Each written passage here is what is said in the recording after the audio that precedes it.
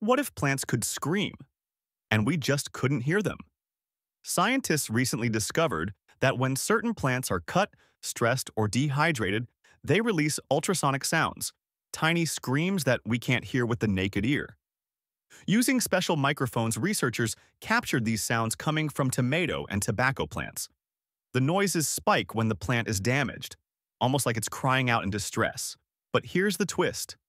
Other plants and even insects might hear those signals. Some believe this could be how nature silently communicates danger.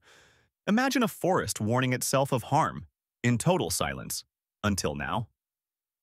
So does this mean plants feel pain? Not exactly. They don't have brains, but the fact they respond to harm is mind-blowing. What do you think? Is this plant communication or something deeper?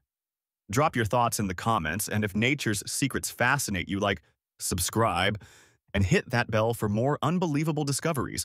Thanks for watching. Stay curious.